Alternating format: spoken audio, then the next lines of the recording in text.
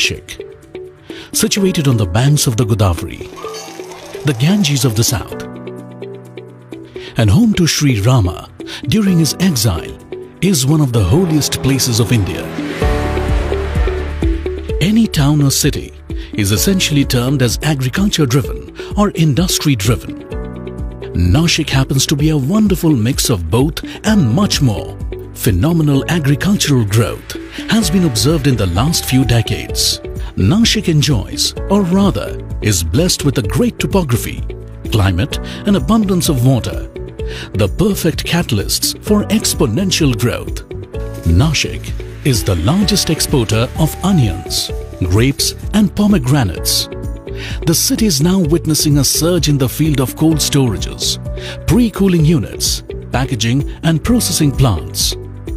Due to the systematic and technological approach of farmers, agricultural produce of Nashik has now reached the markets of Europe, Middle East and Southeast Asia.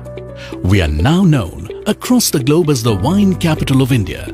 More than 20 wineries mark the map of Nashik district, producing world-class wines with locally grown grapes, and some locally developed too. The third most industrialized city of Maharashtra after Mumbai and Pune, one of the fastest growing cities of India, identified as a Tier 2 metro and now a smart city in making.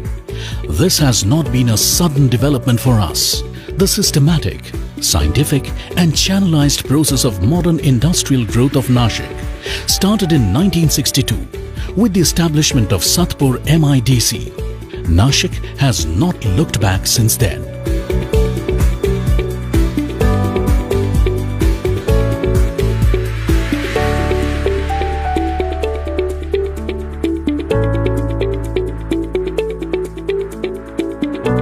The strategic importance of Nashik has been further emphasized by the presence of PSU giants.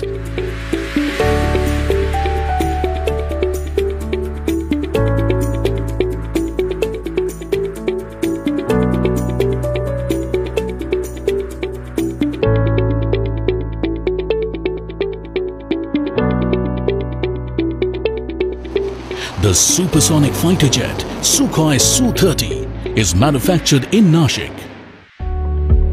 Synergy of agriculture and industry has resulted in a very bright future for Nashik and it has already started to unfold.